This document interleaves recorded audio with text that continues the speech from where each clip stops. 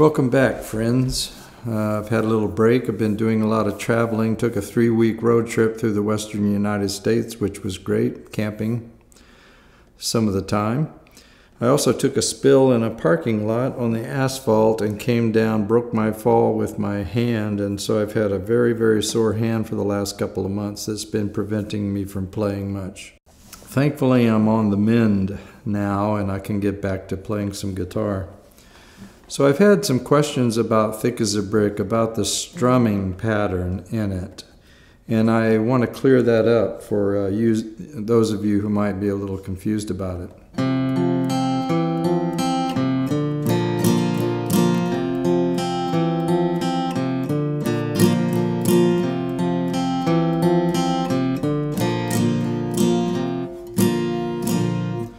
You see those upstrokes really kind of uh, are accentuated.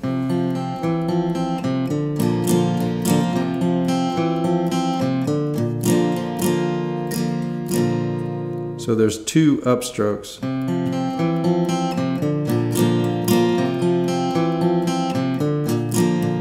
Same pattern when he goes to the minor shape.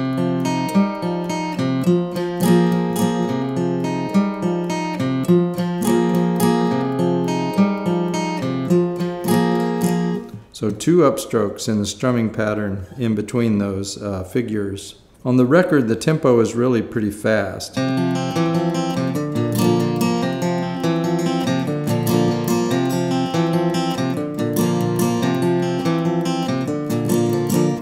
So on those upstroke, he doesn't really have time to do that rake upstroke, which is his signature. But later on, he slowed the tempo a little bit and he started to make that much more pronounced.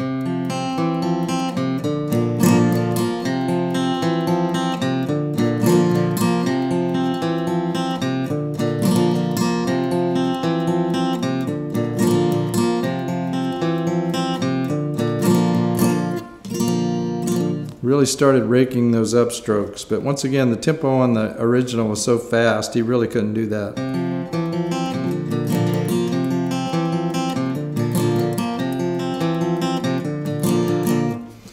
Couldn't do that nearly as pronounced. Now in the verses, really don't mind if you sit this one out. Um, most people do not get that right.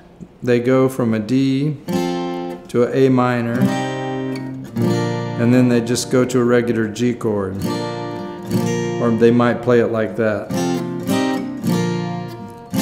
Really don't mind if you sit this one out. But that's not what he plays. He plays a G suspended 4. So he leaves this note in the chord, and you'll hear that that creates a tension that is really cool that's not there when you're playing the regular G. Real, this is the regular G. Really don't mind if you sit this one out. Now listen to the suspension.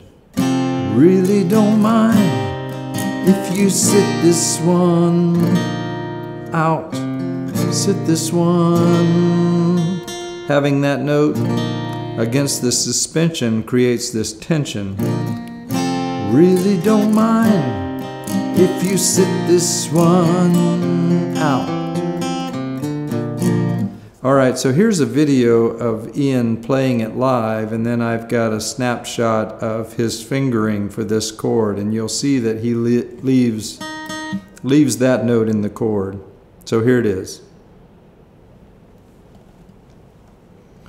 All right, the one other thing is that I've stressed before that he picks the A string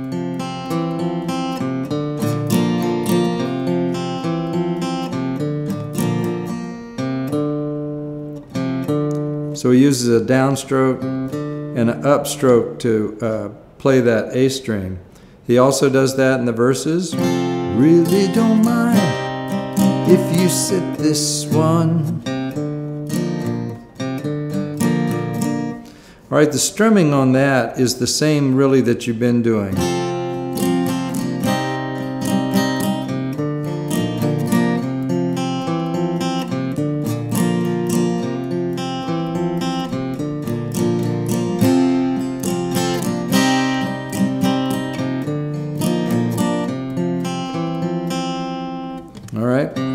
Every time he's playing that A string, he's picking it. Most people hammer that on that I see that cover this because it's much, much easier.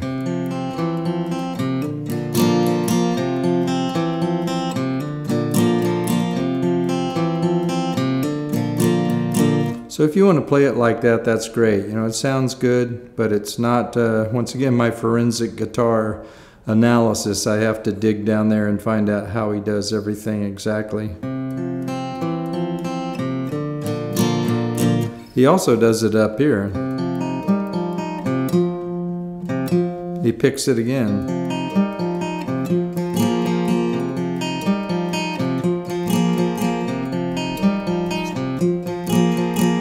So at, at, tempo, that's a very difficult move for me, and um, so if you want to hammer it on,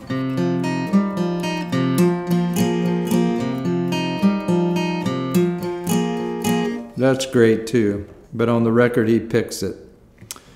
All right, um, I think that'll do it for today. A short explanation of Thick as a Brick, and I hope that that helps with the strumming pattern and the fingering during the verses. So I will return pretty soon with some more tutorials. So until then, bye. Have a great day.